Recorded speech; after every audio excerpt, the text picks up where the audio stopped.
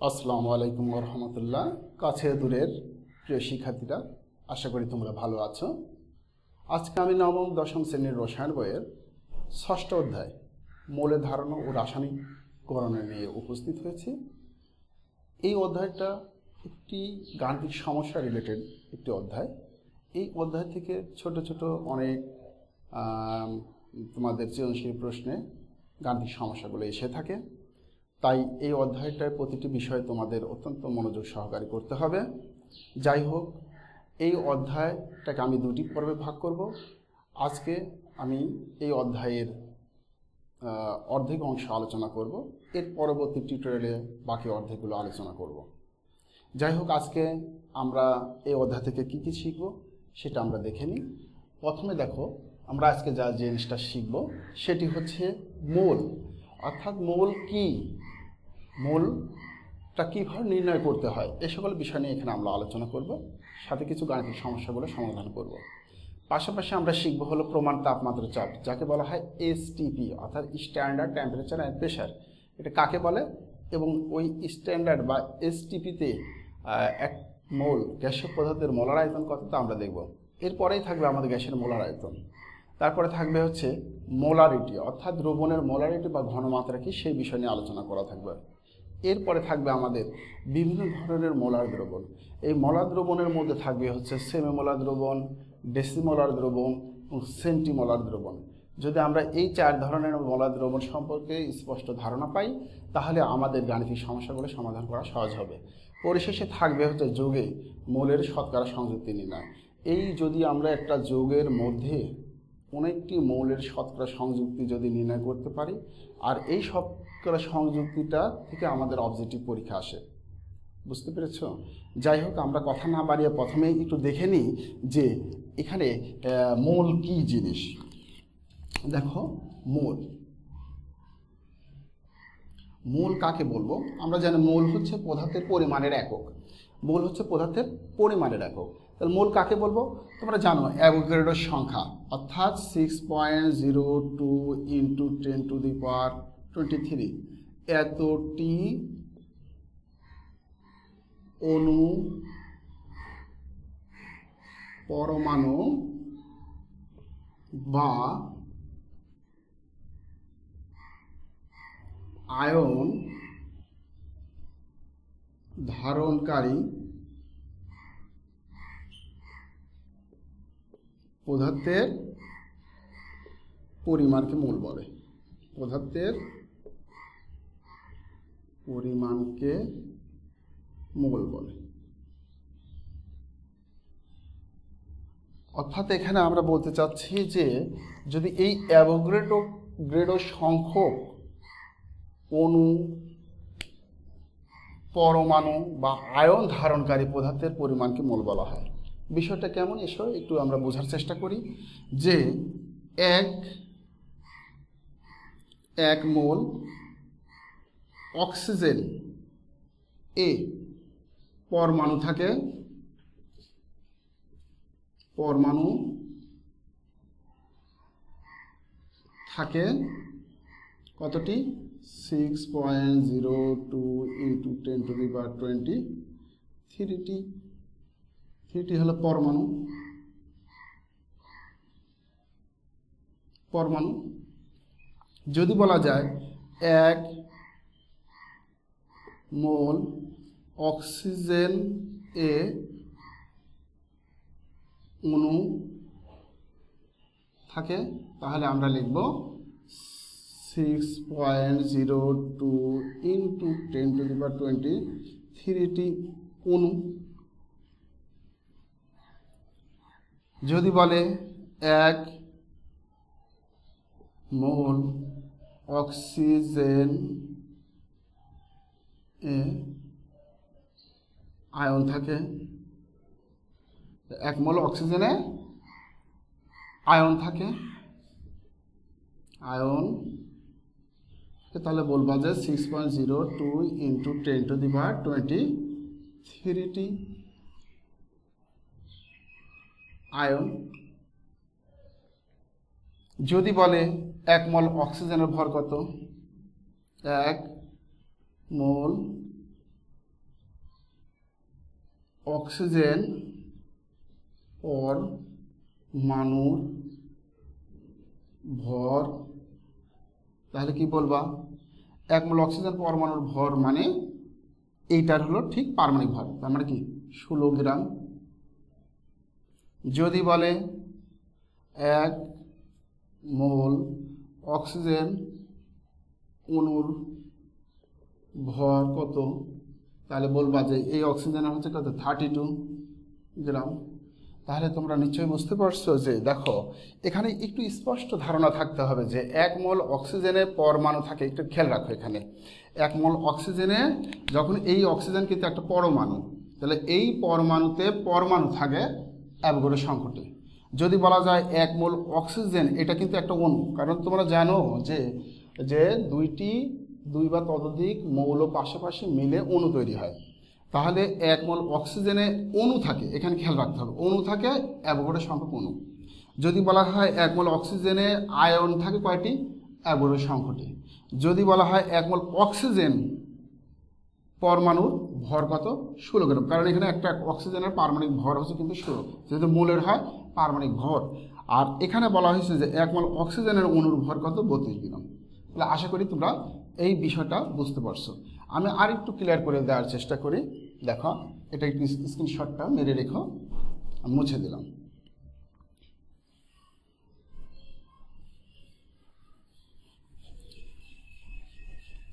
তোমাদের এই ধারণাটা মাথায় রেখে কিন্তু তোমাদের ছোট ছোট গাণিতিক সমস্যাগুলো সমাধান করতে হবে। ধরো, আমরা একটা এক্সাম্পল নিই, তাহলে আর একটু ক্লিয়ার হবে। যে এক মোল পানি। এক মোল পানি মানে কি? এই এক মোল পানি যদি বলা যায়, তাহলে এক মোল পানি পানি সমান আমরা লিখতে পারি, এর যদি ভরে প্রকাশ করি, তাহলে এর ভর কিন্তু আঠারো গ্রাম। যদি বলা হয় এক মোল পানিতে কয়টি অণু থাকে, তখন বলবা six point zero two into ten to the power twenty thirty অণু। যদি বলা হয় এক মোল পানির আয়তন কত যদি আমরা এখনও আসিনি, একটু পরে আমরা আসব। বাইশ দশমিক চার লিটার। তাহলে বুঝতে পারছ? অর্থাৎ দেখো, একটু খেয়াল করো যে এক মোল পানির ভর হচ্ছে আঠারো গ্রাম। আবার যদি বলা যায় এক মোল কয়টি অণু থাকে? এতটি অণু থাকে। যদি বলা হয় এক মোল পানির আয়তন কত? বাইশ দশমিক চার লিটার। এগুলো কিন্তু সব হলো প্রমাণ তাপমাত্রা। আমরা একটু পরে আসব, এই প্রমাণ তাপমাত্রা। এখন একটু মাথায় রাখো যে দেখো যে আমরা যদি বলতে চাই যে এইটা সমান এইটা এইটা সমান এইটা, আবার এইটা সমান এটা লেখা যায় তো? যদি কেউ বলে যে আঠারো গ্রাম পানির মধ্যে কতটি অণু থাকে? এতটি। যদি বলা হয় আঠারো গ্রাম পানির আয়তন কত? এতটি। অথবা বাইশ দশমিক চার লিটার পানির তে কতটি অণু থাকে? এতটি। বাইশ দশমিক চার লিটার পানির ভর কত? আঠারো গ্রাম। যদি বলে যে বাইশ চার লিটার পানির সমান কত মোল? এক মোল। আঠারো গ্রাম পানি সমান কয় মোল? এক মোল। দেখো, এই ধারণা থেকেই তোমরা কিন্তু বড় বড় গাণিতিক সমস্যাগুলো সহজে সমাধান করতে পারবে। এটা তোমরা মাথা রেখো। এখন আমাদের একটু আলোচনা থাকবে প্রমাণ, তাপমাত্রা ও চাপ। দেখো, প্রমাণ, তাপমাত্রা, চাপ কি? দ্বিতীয় বিষয়। প্রমাণ, তাপমাত্রা ও চাপ। প্রমাণ, তাপমাত্রা ও চাপ। ইংরেজিতে বলা হয় এস টিপি সংক্ষেপে। যে প্রমাণ তাপমাত্রা কি? প্রমাণ তাপমাত্রা হচ্ছে এই জিরো ডিগ্রি অর্থাৎ এই প্রমাণ তাপমাত্রাকে বলা হয় জিরো ডিগ্রি সেলসিয়াস এই জিরো ডিগ্রি সেলসিয়াস তাপমাত্রাকে বলা হয়, এই তাপমাত্রাকে বলা হয় প্রমাণ তাপমাত্রা। আর প্রমাণ চাপটা কি? প্রমাণ চাপ হলো ওয়ান এটিএম এক এটিএম বায়ুমণ্ডলীয় চাপ। বায়ু মণ্ডলীয় চাপ। তার আমরা যদি পরীক্ষা আসে যে প্রমাণ তাপমাত্রা চাপ কাকে বলা হয় তখন তোমরা বলবা যে জিরো ডিগ্রি সেলসিয়াস তাপমাত্রা ও ওয়ান এটিএম বায়ুমণ্ডলীয় চাপকে প্রমাণ তাপমাত্রা ও চাপ বলে। আর এসটিপিটা কি? এসটিপির ইংরেজি হলো ফুল মিনিংটা হচ্ছে এসটিপি এর ফুল মিনিংটা হচ্ছে standard standard temperature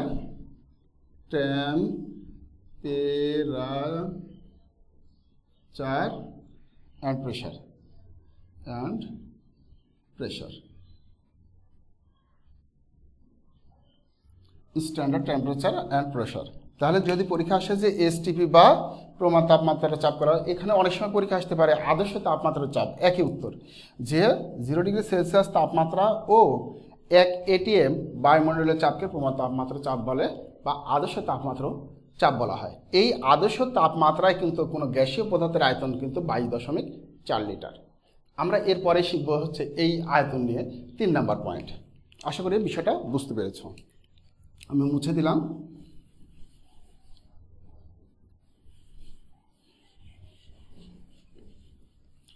তাহলে আমরা এখন দেখব হচ্ছে গ্যাসের মলার আয়তন। গ্যাসের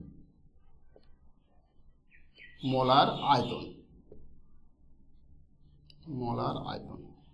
তাহলে গ্যাসের মোলার আয়তনটা কি জিনিস? যেহেতু গ্যাস নিয়ে কথা বলতেছে, তাহলে আমরা বুঝব যে হচ্ছে, অর্থাৎ এক মোল গ্যাসীয় পদার্থ যে আয়তন দখল করে, তাকে ওই গ্যাসের মোলার আয়তন বলে। অর্থাৎ এক মোল গ্যাসীয় পদার্থ যে আয়তন দখল করে, তাকে ওই গ্যাসের মোলার আয়তন বলে।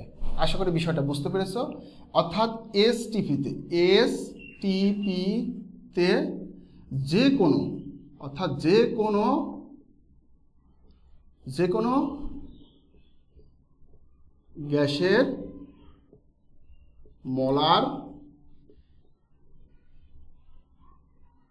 আয়তন বাইশ দশমিক চার লিটার চার লিটার এটা মনে রাখো এই যে কিছুক্ষণ আগে আমি লিখেছিলাম যে যে কোনো গ্যাসের এসটিভিতে যে কোনো গ্যাসের মোলার আয়তন হচ্ছে বাইশ দশমিক চার লিটার। আশা করে বুঝতে পেরেছ। এখন আমরা কিছু সমস্যাগুলো একটু দেখার চেষ্টা করব যে কীভাবে আমরা এই সমস্যাগুলো সমাধান করতে পারি। মনে রেখো যে এসটিভিতে যে কোনো গ্যাসের মোলার আয়তন মোলার আয়তন মানে কি? এক মোল। এক মোল হচ্ছে কোনো গ্যাসের আয়তন হচ্ছে বাইশ দশমিক চার লিটার। এখন এই ধারণাটাকে আমরা নিয়েই আমরা হলো এক কিছু গাণিতিক সমস্যাগুলো সমাধান করব। তার আগে আমরা একটু একটা সূত্র লিখে রাখি। তোমাদের বোঝার সুবিধার্থে দেখো যে এন এন সমান আমরা লিখতে পারি ডব্লু ভাগ ক্যাপিটাল এম এইটা সমান লেখা যায় যে ভি ভাগ বাইশ দশমিক চার লিটার। চার লিটার। সমান লেখা যাবে যে এন ভাগ অ্যাভোগেডের সংখ্যা six point zero two into ten to the power twenty three সমান লেখা যাবে এস গুণন ভি এখন একটু বোঝার বিষয় আছে যে কোনটা কি? অবশ্যই এটা হলো দ্রবের ভর। এই দ্রবের ভরটা হলো গ্রাম এককে। অর্থাৎ এটা হলো আমাদের দ্রবের ভর। দ্রবের ভর। এটা। এটা হচ্ছে আমাদের দ্রবের ভর। এটা হলো আমাদের দ্রবের ভর। আর এইটা হচ্ছে দ্রবের দ্রবের আণবিক ভর। আণবিক ভর। আর এখানে যে এটা ভিটা হচ্ছে আয়তন, আয়তনটা অবশ্যই এই জায়গায় হলো লিটার এককে। এটা মনে রেখো, এটা অবশ্যই লিটার এককে হবে। এটা হলো দ্রবণের আয়তন, আর এটা হলো প্রমাণ তাপমাত্রা অবস্থায় আয়তন। এটা এত, এটা হলো লিটার। আর এইটা হলো অনুসংখ্যা। এটা হলো কি? অনুসংখ্যা। অনু সংখ্যা আর এটি তো অ্যাভোকেটের সংখ্যা। আর এই জায়গায় আমরা পেলাম এটা হলো ঘনমাত্রা। আর এই আয়তনটা অবশ্যই দ্রবণের আয়তন লিটারে। তাহলে এটা হলো ঘনমাত্রা। অর্থাৎ কার ঘনমাত্রা? দ্রবণের ঘনমাত্রা। দ্রবণের ঘন মাত্রা আর এখানে আমরা যে পেলাম, এটা হলো মোল সংখ্যা। এটা কি? মোল, মূল সংখ্যা। তাহলে দেখো, আমরা এই সূত্র ইউজ করে ছোট ছোট গাণিতিক সমস্যাগুলো সহজে সমাধান করতে পারব। এখানে আমি আর একটু এক্সপ্লেন করি। এন হচ্ছে এখানে মূল সংখ্যা আর এন মূল সংখ্যা সমান দ্রবের ভর ভাগ দ্রবের আণবিক ভর। এটা গ্রাম এককে প্রকাশ করতে হবে। এটা হলো দ্রবণের আয়তন লিটার এককে এবং প্রমাণ তাপমাত্রা বা এসটিভিতে বাইশ দশমিক চার লিটার। আর এন হচ্ছে এখানে অনুসংখ্যা আর নিচেরটা হচ্ছে অ্যাভোগ্রেডের সংখ্যা। আর এখানে এস হচ্ছে দ্রবণের ঘনমাত্রা ভি হচ্ছে দ্রবণের আয়তন এবং লিটার এককে। এই সূত্রটা যদি তোমাদের মাথায় থাকে, তাহলে খুব সহজে গাণিতিক সমস্যাগুলো সমাধান করা যাবে। এসব আমরা দুই একটা গাণিতিক সমস্যা কী ধরনের আসতে পারে, আমরা একটু দেখি। তোমাদের যদি পরীক্ষার প্রশ্ন আসে, ধরো যে তোমাদের পরীক্ষা আসলো যে পাঁচ গ্রাম পানিতে পানিতে কতটি অণু থাকে? অণু থাকে। এটা তোমাদের প্রশ্ন পরীক্ষা দিল। তাহলে এখানে যদি প্রশ্ন যদি পরীক্ষা আসে, দুইভাবে করা যাবে এটা ঐকিক নিয়মে অঙ্কটা করতে পারবা, অথবা এই সূত্র প্রয়োগ করে তোমরা সহজে সমাধান করতে পারবে। তাহলে আমরা প্রথমে একটা ঐকিক নিয়মে এই অঙ্কটা করার চেষ্টা করি, তারপরে এই সূত্রটা প্রয়োগ করব। তাহলে ঐকিক নিয়মে যদি আমরা করতে চাই, মনে করো যে আমরা এখন সলভ করতেছি প্রশ্নটা। তাহলে আমরা সলভ যদি করি, তাহলে আমরা কি জানি? তাহলে আমরা জানি, আমরা জানি, যেহেতু এখানে খেয়াল রেখো, ভরের সাথে উনিশ সম্পর্ক ভর কোনটা? এই যে ভরের সাথে এই উনিশ সম্পর্ক আমরা জানি এক মোল পানির ভর কত? আঠারো গ্রাম। বুঝতে পেরেছ? আর এক মোল পানিতে অণু থাকে। তাহলে অণু থাকে যে, তাহলে অণু থাকে কয়টা? অণু থাকে six point zero two into into twenty এতটি। তাহলে আমরা লিখতে পারি সুতরাং যে আঠারো গ্রাম পানি যেহেতু এটা এক মল, এটাও এক মল। তার মানে আঠারো গ্রাম সমান এত। আমরা পূর্বেই সেটা দেখে আসছি যে আঠারো গ্রাম পানিতে অণু থাকে six point zero two into ten to the power twenty three তি অথেব এক গ্রাম পানিতে অণু থাকবে। তাহলে কম কম হলে আমরা জানি হলো ভাগ হয় two into ten to the power twenty three divided আঠারো। এখন আমাদের কয় গ্রামে চাচ্ছে?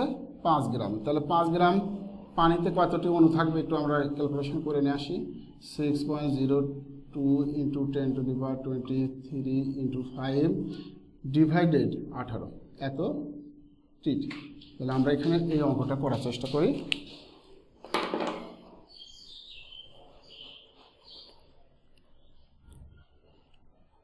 আঠারো into six point zero two X by twenty three divided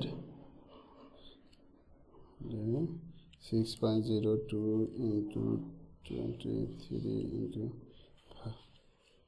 five divided আঠারো আমাদের আসছে এখানে মান চলে আসছে মান হচ্ছে one point six seven two two two এরম এমন কিছু আসছে ten to the power twenty thirty তার মানে আমরা খুব সহজে এই ধরনের অঙ্কগুলো সলভ করতে পারি। দেখো, এখানে বলা হয়েছে কি, এখানে বলা, প্রশ্ন বলা চাইছিল যে পাঁচ গ্রাম পানিতে কতটি অণু থাকে? তাহলে আমরা দেখছি যে আমরা জানি এক মোল পানির ভর হচ্ছে আঠারো গ্রাম, এক মোল পানিতে অণু থাকে অ্যাভোগাড্রো সংখ্যক। অতএব এত গ্রামের মধ্যে এতটি অণু থাকে, এই কথাটা বলা হয়েছে এখানে যে আঠারো গ্রাম পানিতে অণু থাকে এতটি এক একত পাঁচ একত এখন এই অঙ্কটাকে আমরা হলো এই সূত্রের মাধ্যমে করার চেষ্টা করব বিকল্প পদ্ধতিতে। তোমরা একটু মনে রেখো, এই অঙ্কের মানটা আমরা এখনই করব। আমি এটুকু মুছে দিলাম, শুধু আমি একটা মানটা লাগলাম দেখো, আমরা কত সহজে এই অঙ্কটা করতে পারি। এই মানটা আমাদের প্রয়োজন। আমরা দেখব যে আসলে অঙ্কটা আমাদের হয় কিনা। দেখো যে আমাদের হলো কি চাচ্ছে? এই অনুসংখ্যা চাচ্ছে। তাহলে আমরা হলো, এখানে আমরা জানি ওই আগের মতোই, আমরা জানি N divided six point zero two into যেহেতু এন সমান এটা এটা সমান এটা অর্থাৎ আমাদের সম্পর্ক হচ্ছে এই দুটোর মধ্যে। Ten to the power twenty three সমান সমান ডব্লু ভাগ এম তাহলে আমরা এখানে দেখি এন সমান আমরা লিখতে পারি ডব্লু গুণন six point zero two into ten to the power twenty three divided M এখন আমরা জানি যে এই ডব্লু হচ্ছে কত? ভর দ্রব্যের ভর। তাহলে এটা হলো পাঁচ গুণন অ্যাভোগাড্রো সংখ্যাটা আমরা এখানে লিখে নিই। টোয়েন্টি থ্রি ডিভাইডেড এম হচ্ছে দ্রব্যের আণবিক ভর। তার দ্রব্য কোনটা ছিল? দ্রব্য হচ্ছে, ছিল পানি। তাহলে পানি হচ্ছে আঠারো গ্রাম। তাহলে আমাদের ক্যালকুলেটর ইউজ করলে আমাদের দেখব যে আমাদের এই মানটা হচ্ছে এটা আসে তাহলে আমরা খুব সহজে এই সূত্র প্রয়োগ করে করতে পারি, অথবা ঐকিক নিয়মের সাহায্যে আমরা এই অঙ্কটা সলভ করতে পারি। এখন যদি তোমাকে এখান থেকেই পরীক্ষাতে চাই, চাইতো যে দেখো, যে এখানে এই অনু নাচে, অর্থাৎ এই জায়গাতে অনু নাচে, যদি পরমাণু চাইতো, যে পানিতে পর, কতটি পরমাণু থাকে? পরমাণু চাইতো। তখন কি করতে? কিচ্ছু না। তখন হলে শুধু করবা যে কি, এই পানির মধ্যে কয়টা পরমাণু আছে। দেখো, হাইড্রোজেনে দুইটা, অক্সিজেন একটা, কয়টা? তিনটা। তাহলে এই জায়গায় শুধু এই তিন দিয়ে গুণ করবা। এই জায়গায় কি করবা? তিন দিয়ে গুণ করব। তাহলে তার এখানে চলে আসবে। এখানে এখন আসছে অণু। এই অণুর যে জায়গায় এইটা না লিখে লিখবা হচ্ছে কোনটা? পরমাণু। এই পরমাণু কথাটা লিখবা। এইটা লিখবা। তাহলে হয়ে যাবে। বিষয়টা বুঝতে পারছ? এখানে কিন্তু মানটা চেঞ্জ হয়ে যাবে। এর মানটা হলো অবশ্যই চেঞ্জ হবে। কেন? কীভাবে চেঞ্জ হয়? দেখো, এখানে আমাদের যে ভ্যালুটা আসছে, এখানে আমরা হলো তিন তিন দিয়ে গুণ করে দেবো। তিন দিয়ে গুণ করে দিলে আমাদের এই ভ্যালুটা হলো five point zero zero two seven অর্থাৎ তখন এই মানটা এইটা থাকবে না। এই মানটা চেঞ্জ হয়ে থাকবে হচ্ছে five point five point zero one six seven এতটি। Into ten to the power twenty three ten to the power twenty three এতটি কি? পরমাণু। আশা করি বিষয়টা বুঝতে পেরেছ। তাহলে তোমাদের থেকে একটা অঙ্কে অণু চাইতে পারে অথবা পরমাণু চেতে পারে যেটাই চাক না কেন আমরা একটু মাথায় রেখেই সেই অঙ্কগুলো সলভ করার চেষ্টা করব। অর্থাৎ তোমরা যদি কিছু না বুঝতে পারো তাহলে কি করবা? প্রথমে আগে অণু বের করে নেবে। অণু বের করে নেওয়ার পরে দেখবা যে যোগের কথা বলা হচ্ছে ওই যোগের মধ্যে কয়টা পরমাণু আছে? যে কয়টা পরমাণু থাকবে ওই অণুর সংখ্যাকে সেই সংখ্যা দিয়ে আহ, পরমাণুর সংখ্যা দিয়ে গুণ করে দিলে তার পরমাণুর সংখ্যা পাওয়া যাবে। আশা করি বিষয়টা বুঝতে পেরেছ। এখন যদি বলা যায় যে এখানে নাচে এখানে এটাও চাইতে পারে। একটু আমি আর একটু এক্সপ্লেন করি। ধরে যে এখানে এটা চাই, চাইতে পারে। কি চাইতে পারে যে পাঁচ গ্রাম পানির পানির হলো পানির হলো, এখানে আমি একটু মুছে দিই। পাঁচ গ্রাম পানির মোলার আয়তন, পাঁচ গ্রাম পানির মোলার আয়তন কত? মোলার আয়তন কত? এটা তোমাদের একটা পরীক্ষা চলে আসলো। কারণ কী লাগবে? সিম্পল প্রশ্ন। ওই যে আমরা এই সূত্রটা ইউজ করি, তাহলে এখানে কিন্তু আয়তনের সম্পর্ক। তাহলে আয়তনের সম্পর্ক, ভরের সাথে কিন্তু আয়তন। দেখো, এখানে ভর আছে আর এখানে কিন্তু আয়তন। তার মানে কি আমাদের সম্পর্কটা হচ্ছে এখন এই দুটা নিয়ে। তাহলে আমরা যেহেতু আয়তন চাচ্ছে, তাহলে ভি এ যেটা ভি ডিভাইডেড বাই দশমিক চার লিটার সমান সমান ডব্লু ভাগ এম তাহলে আমরা এখানে ভি ইকুয়াল টু আমাদের হচ্ছে আসতেছে হচ্ছে ডব্লু গুণন বাইশ দশমিক চার লিটার ডিভাইডেড এম তাহলে আমরা এখান থেকে পাচ্ছি কি? ভর হচ্ছে পাঁচ গুণন বাইশ দশমিক চার লিটার ডিভাইডেড এম হচ্ছে আঠারো। তাহলে আমাদের এখানে একটা মান চলে আসবে। তাহলে আমরা মানটা হলে করে ফেলি। ফাইভ গুণন বাইশ দশমিক চার দশমিক চার লিটার সমান এত ভাগ আঠারো। তাহলে আমাদের আছে সিক্স পয়েন্ট সিক্স সিক্সটি অর্থাৎ এমন একটা মান আসছে। Six point six point two two two এখানে অসংখ্য টু আসছে। আচ্ছা যাই হোক, এত লিটার। বুঝতে পেরেছ? আশা করি তাহলে এইভাবে আমরা এই প্রশ্নগুলোর ইয়াটা বের করতে পারি। যদি আমাদের আবার এইভাবে পরীক্ষায় চাইতো যে কি আর আসতে পারে? আরেকটু, আরেকটা প্রশ্ন আমি এখান থেকে করব। দেখো এটা আশা করি বুঝতে পেরেছ? আমি যদি এইভাবে একটা অঙ্ক করি যে দশটি পানির অণুর অণুর আয়তন কত? অণুর মোলার আয়তন কত?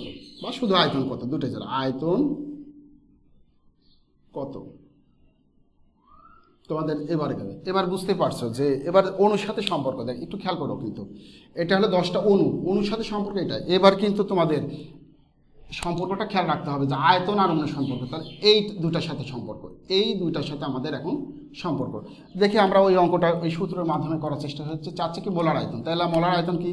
ভি ভাগ বাইশ দশমিক চার লিটার সমান and divided six point zero two into ten to the power twenty three তাহলে আমাদের ভি সমান আমরা জানি এন ইন্টু বাইশ দশমিক চার litre divided six point zero two into ten to the power twenty three তাহলে আমরা আসতেছে এন এন হলো কত? কতটি অণু আছে? দশটা। এই যে এখানে আমার কিন্তু এখানে দশটা অণু আছে।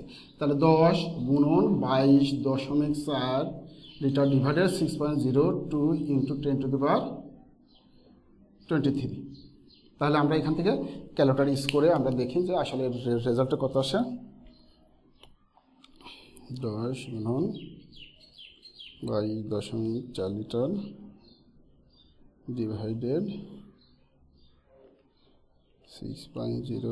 to X X twenty three হ্যাঁ আসছে থ্রি পয়েন্ট এখানে আমাদের একটা মান পেয়ে গেছি যে three point seven two one into ten to the power minus twenty two এত এত, আয়তন যেহেতু এত লিটার এত লিটার। তাহলে আশা করে তোমরা সেই বিষয়টা হলো বুঝতে পেরেছ। এইভাবে আমরা এই ছোটো ছোটো এই গাণিতিক সমস্যাগুলো সমাধান করতে পারি। ক্লিয়ার ওকে তারপর যদি তোমাদের এই গাণিতিক সমস্যা নিয়ে কোনো প্রশ্ন থাকে, তাহলে এই টিউটোরিয়ালের নিচে যে কমেন্ট বক্স আছে, সেই কমেন্ট বক্সে আমাকে জানাবে। ওকে মুছে দিলাম। এরপরে আমাদের যে আলোচনা থাকবে, সে আলোচনা হচ্ছে মোলারিটি।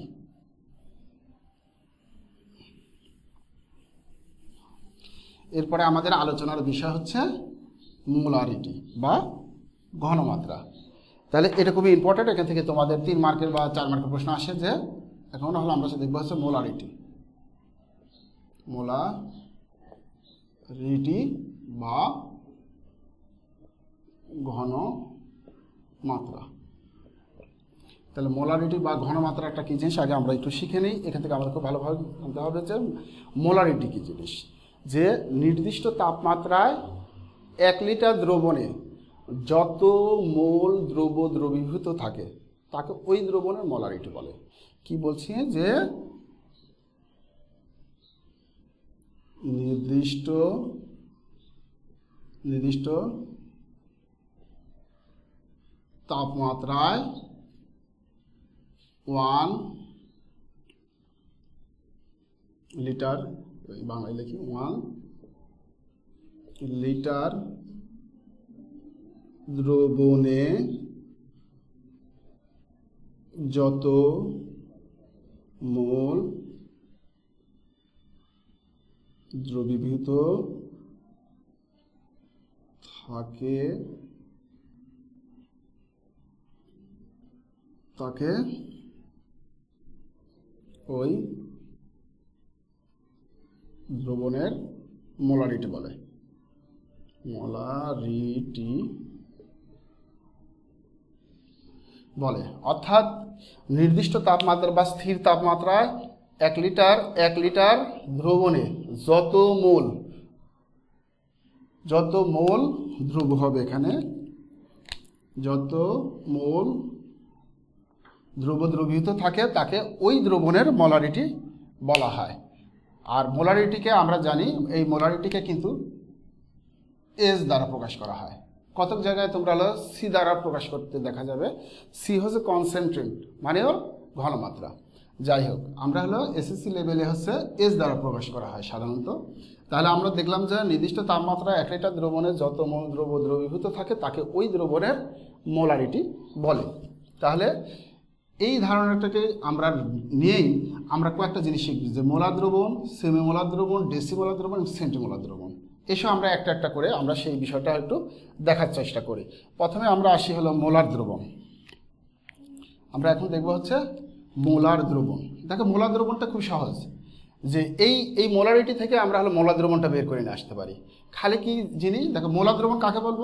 যে নির্দিষ্ট তাপমাত্রা এক লিটার দ্রবণে এখানে আমরা কতটুকু লিখব? এই জায়গায় আমাদের পরিবর্তন। এক লিটার দ্রবণে এই জায়গায় আমাদের পরিবর্তন করলে হয়ে যাবে যে এই জায়গায়। আমাদের পরিবর্তনটা কোথায়? এই জায়গায়। যে আমরা লিখব যে এই জায়গায় আমাদের পরিবর্তন করতে হবে। অর্থাৎ নির্দিষ্ট তাপমাত্রা নির্দিষ্ট তাপমাত্রা এক লিটার দ্রবণে এক মোল এক মোল দ্রব দ্রবীভূত থাকলে দ্রবীভূত, এখানে আমরা একটু লিখে নিতে পারি। দ্রবীভূত থাকলে তাকে ওই দ্রবণের কি বলা হয়? মোলা দ্রবণ বলা হয়। একটু ভালো হলো না? এটা আমি মুছে দিই। এখন আমরা দেখব হচ্ছে মোলার দ্রবণ। এখন আমরা শিখব হচ্ছে মোলার দ্রবণ। মোলার দ্রবণ। তাহলে মোলার দ্রবণটা কি? আমরা এখানে দেখি যে নির্দিষ্ট নির্দিষ্ট তাপমাত্রায় ওয়ান লিটার দ্রবণে দ্রবণে এক মোল দ্রব দ্রবীভূত থাকলে থাকলে তাকে মোলার দ্রবণ বলে। তাহলে দেখো যে নির্দিষ্ট তাপমাত্রায় এক লিটার দ্রবণে এক মোল দ্রব দ্রবীভূত থাকলে তাকে মোলার দ্রবণ বা এক মোলার দ্রবণ বলা হয়। আর এক মোলার দ্রবণের ঘনমাত্রাও ওয়ান এম। এরপরে আমাদের আছে মোলার দ্রবণের মধ্যে আরও তিনটা আছে যে সেমি মোলার দ্রবণ। দেখো, আমরা এখান থেকে আমরা এর উত্তরটা দিতে পারি যে শুধু এই জায়গা থেকে আমরা হল পরিবর্তন করব হচ্ছে কোথায়? এই যে জায়গায় আমাদের পরিবর্তন। অর্থাৎ নির্দিষ্ট তাপমাত্রা এক লিটার দ্রবণে কত মূল? এই জায়গায় আমার পরিবর্তন করতে হবে। পরিবর্তন করতে হবে কত? এই জায়গায়। তাহলে এই জায়গায় যদি আমার হয় হলো জিরো পয়েন্ট ফাইভ মোল, তাহলে হয়ে যাবে সেমিমোলা দ্রবণ। যে কি লিখব? নির্দিষ্ট তাপমাত্রা এক লিটার দ্রবণে জিরো পয়েন্ট ফাইভ মোল দ্রব দ্রবীভূত থাকলে তাকে এখানে আমরা তখন আমাদের এই জায়গায় হলো পরিবর্তন হবে। পরিবর্তন হবে কোথায়? কোথায় আমাদের খেয়াল রাখতে হবে। পরিবর্তন হবে শুধু এই দুইটা জায়গায় পরিবর্তন হবে। খেয়াল করো যে নির্দিষ্ট তাপমাত্রায় এক লিটার দ্রবণে যদি এক মল দ্রব্য দ্রবীভূত থাকে, তাকে বলা হয় মোলার দ্রবণ বা এক মোলার দ্রবণ। আর এক মোলার দ্রবণের ঘনমাত্রাও ওয়ান এম। যদি সেমিমোলার দ্রবণ তোমাদের পরীক্ষা আসে, তাহলে এই সেম সংজ্ঞাতেই লিখবে। শুধু লিখবে হচ্ছে এই একের জায়গায় জিরো পয়েন্ট ফাইভ মোল দ্রবীভূত থাকলে তাকে সেমিমোলা দ্রবণ বলে। যদি ডেসিমোলা দ্রবণ আসে তাহলে কি লিখবা? ডেসিমোলার দ্রবণ আসলে লিখবা এই জায়গায় জিরো পয়েন্ট জিরো ওয়ান এই জায়গায় কি লিখবা? জিরো পয়েন্ট জিরো ওয়ান তাহলে কি লিখবা?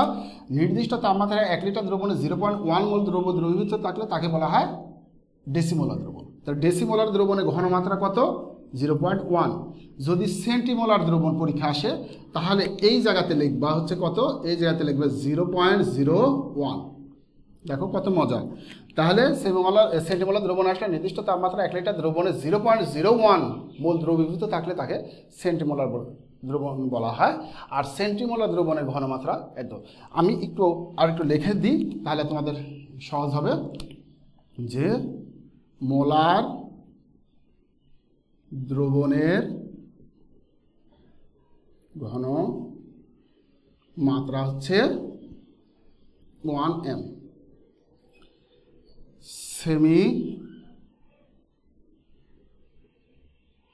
মোলার দ্রবণের ঘনমাত্রা হচ্ছে জিরো পয়েন্ট ফাইভ এম। আর ডেসি মোলার দ্রবণের ঘনমাত্রা হচ্ছে zero point one M. Centimolar দ্রবণের ঘনমাত্রা, সেন্টিমোলার দ্রবণের ঘনমাত্রা হবে zero point zero one M. এই কয়টা যদি ভালো করে মনে রাখো, তাহলে তোমাদের প্রশ্ন পরীক্ষা আসবে। তাহলে এই যে মানগুলো আছে, এই মানগুলো যেটা তোমার পরীক্ষা আসবে, শুধু ওই জায়গায় লিখবে, সব কিছু ঠিক থাকবে। শুধু এই যে একের জায়গায় এই মানগুলো। যদি হলো সেমিমোলা দ্রবণ কাকে বলে আসে, তাহলে জিরো পয়েন্ট এই ওয়ানের জায়গায় জিরো পয়েন্ট ওয়ান বসাবে, তাহলে সেটা সেন্টিমোলার ইয়া সেমিমোলার দ্রবণ হয়ে যাবে। যদি ডেসিমোলার আসে, তাহলে এই ওয়ানের জায়গায় জিরো পয়েন্ট ওয়ান অর্থাৎ জিরো পয়েন্ট ওয়ান বসাবে। তাহলে সেটা হয়ে যাবে হলো ডেসিমোলার যদি সেন্টিমোলার দ্রবণ আসে, তাহলে এই ওয়ানের জায়গায় লিখবে হলো জিরো পয়েন্ট জিরো ওয়ান তাহলে আশা করি এই, এখানে আমাদের যে মোলারিটি মোলার দ্রবণ সেমিমোলার দ্রবণ ডেসিমোলার দ্রবণ সেন্টিমোলার দ্রবণ সম্পর্কে আমাদের একটু ধারণা সৃষ্টি হয়েছে, এটা তোমরা বাসায় প্র্যাকটিস করব। এরপর আমাদের এই আজকের এই টিউটোরিয়ালের শেষের যে অংশ আসে যোগে মূলে শতকরা সংযুক্তি কীভাবে নির্ণয় করা যায় তা আমরা একটু দেখব। কারণ আমাদের এই শতকরা সংযুক্তি যদি আমরা ভালোভাবে পারি, তাহলে আমাদের হলো কি, অনেক সময় দেখা যায় তিন মার্কের পরীক্ষায় প্রশ্ন আসতে পারে, অথবা অবজেক্টিভেতে একটা প্রশ্ন আসে। তাহলে আমরা কথা না বাড়িয়ে আমরা লাস্টের টপিকটা একটু দেখি।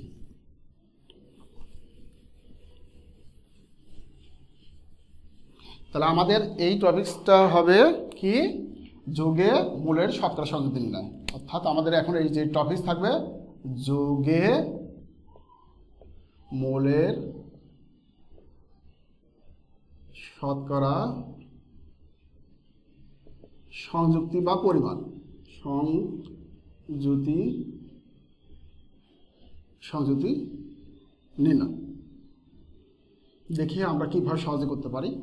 এটা করার জন্য আমাদের যে কাজগুলো করবে, আমি কয়েকটা উদাহরণ নিব। মনে করো যে আমাদের পরীক্ষা আসলে হচ্ছে একটা হলো সালফারিক অ্যাসিড দিল।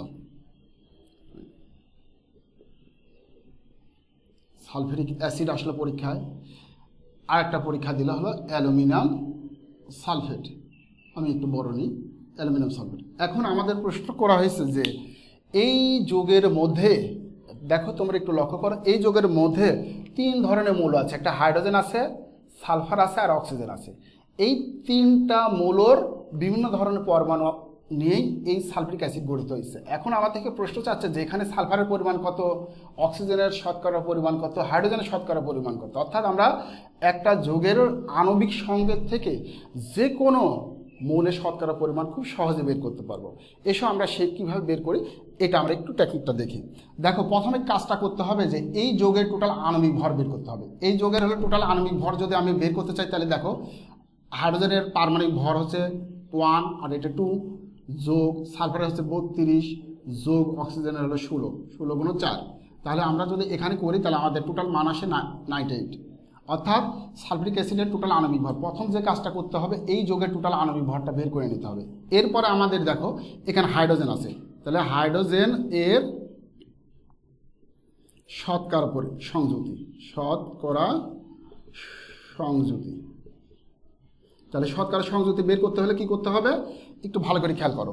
এই যে আমরা যে দুইটা অংশ লিখছি না, এখানে এই এই অংশটাই দেখে দেখে লিখব। ওয়ান গুণন টু। এর সাথে অতিরিক্ত কত গুণ করব? একশো গুণ করে দেবো। আর টোটাল নিচে ভাগ করবে টোটাল আণবিক ভর, এই যোগের আণবিক ভর দিয়ে। তাহলে আমরা করলে এখানে একটা মান পেয়ে যাবে। এখানে একটা মান পাবো। মানটা কত পাই আমরা একটু ক্যালকুলেটর ইউজ করি, তাহলে আমরা বুঝতে পারব। বিশ ভাগ নাইনটি এইট। অর্থাৎ আমার zero zero point two zero four. অর্থাৎ আমাদের মান আসছে জিরো পয়েন্ট সরি সরি আমাদের এখানে একশো হবে। আমরা একটু লিখতে ভুল করেছি। একটু দেখো। এখানে আমাদের অবশ্যই একশো। আমি বলেছি এক কথা, লিখছি আর কথা। তাহলে এখানে কিন্তু অবশ্যই আমাদের একশো দ্বিগুণ করতে হবে। গুণ করতে হবে একশো। তাহলে আমাদের এখানে রেজাল্টটা কত আসে? একটু আমরা দেখি।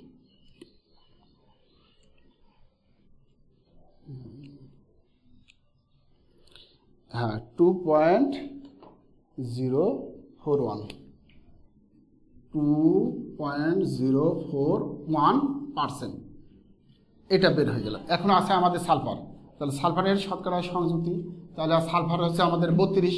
তাহলে বত্রিশ গুণন কত গুণ করতে হবে? একশো। ভাগ এই টোটাল যোগের আণবিক ভর। তাহলে আমাদের এখানে একটা ভ্যালু আসবে। তাহলে আমরা একটু ভ্যালুটা দেখে নিই। বত্রিশ নাইনটি এইট আসছে যে বত্রিশ দশমিক পঁয়ষট্টি। বত্রিশ দশমিক পঁয়ষট্টি পার্সেন্ট এটা আসলো। এরপর আছে আমাদের অক্সিজেন। তাহলে অক্সিজেন মূলের শতকরা? অক্সিজেন মূলের শতকরা পরিমাণ। তাহলে একটু খেয়াল করো, অক্সিজেন আমি কতটুকু লিখছি? তাহলে ষোলো গুণন ফোর। গুণন কত গুণ করতে হবে আমার? একশো। যেহেতু আমরা শতকরা বের করতেছি, তারপরে যোগের আণবিক ভর এখন এখানে আমরা করি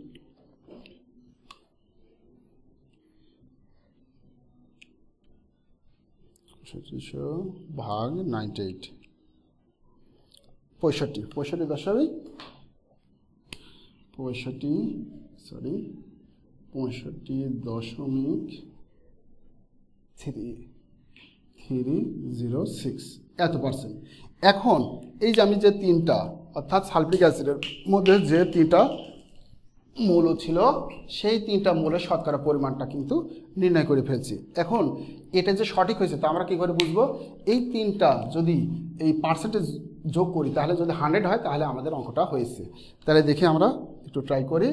হ্যাঁ বত্রিশ দশমিক পঁয়ষট্টি যোগ two point zero four one দেখো আমাদের চলে আসছে হান্ড্রেড অর্থাৎ আমাদের এই যে, এই যোগের মধ্যে যে মূলগুলো আছে, প্রত্যেকটা মূলে শতকরা পরিমাণ সঠিকভাবে নির্ণয় করা হয়েছে। আশা করি এটা বুঝতে পেরেছ। এখন আমরা আরেকটা অঙ্ক, এই রিলেটেড আরেকটা ছোট একটা অঙ্ক করে নিই, তাহলে আমাদের এই বিষয়টা ক্লিয়ার হয়ে যাবে। তোমরা কি সবাই বুঝতে পেরেছ? ওকে দেখো, আমরা একটা ছোট্ট একটা অঙ্ক করব। আমরা পানি দিয়ে করি। তাহলে আমাদের আরেকটু ক্লিয়ার হবে। দেখো, আমাদের পানি পানি হচ্ছে আমাদের অতিরিক্ত অতি পরিচিত তাহলে পানি আমি শতকরা পরিমাণ বের করব। তাহলে এর এর আণবিক ভর কত? আঠারো। তাহলে আমরা হাইড্রোজেন এর শতকরা সংযুতি তাহলে আমরা দেখি, তাহলে হাইড্রোজেন হচ্ছে, আমরা জানি ওয়ান ইন্টু টু অর্থাৎ হাইড্রোজেনের পারমাণবিক ভর হচ্ছে ওয়ান আর হাইড্রোজেন পরমাণু আছে দুইটা, তাই এই দুটা নিলাম, আর সাথে কত গুণ করব? একশো। ডিভাইডেড কত? এর আণবিক ভর, আঠারো। তাহলে এখানে আমার একটা মান আসবে। মানটা কত আসে আমরা একটু ক্যালকুলেটার ইউজ করে তাহলে আমরা সহজে বুঝতে পারব। তাহলে দুইশো ভাগ আঠারো। অর্থাৎ আমার ইলেভেন পয়েন্ট ইলেভেন ইলেভেন অর্থাৎ আমাদের আসতেছে one eleven point one one percent এখন আমাদের অক্সিজেন আছে। অক্সিজেন এর শতকরা সংযুক্তি তাহলে অক্সিজেন হচ্ছে একটা। তাহলে অক্সিজেনের একটা পরমাণুর ভর কত? পারমাণবিক ভর হলো ষোলো গুণন হান্ড্রেড ডিভাইডেড আঠারো। তাহলে এখানে আমাদের আসবে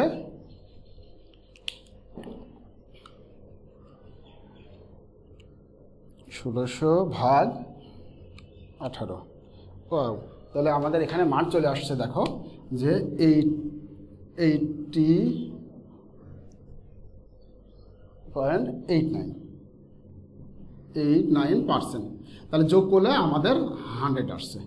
অর্থাৎ এখানে থেকে আমরা বুঝতে পারলাম যে একটা যোগের মধ্যে যতগুলো মৌল থাকুক না গেল ওই মৌলের শতকরা পরিমাণ খুব সহজে বের করা যায়। এসব আমরা একটু জটিল প্রকৃতির যোগের শতকরা সংযুক্তি বের করার চেষ্টা করি।